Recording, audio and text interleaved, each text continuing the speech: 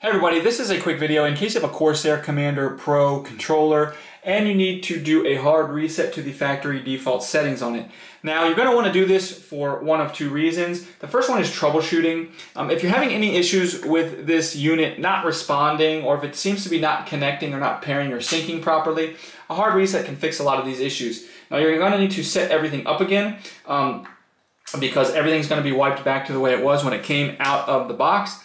But if that's that's the second reason you might want to do this, if for whatever reason you just want to get it back to the way it was when it was new, we can go ahead and do this pretty simply. We're just going to start by shutting down the iCUE if you haven't done that already. And from there, you're going to find this reset button that's right here on the device. So what you're going to do um, is you're going to uh, push that button and hold it. You're going to need a paperclip or something like that. And while pushing and holding this button down, you're going to disconnect the SATA power to the Commander Pro for a couple of seconds and then go ahead and plug it back in, all the while holding down the reset button.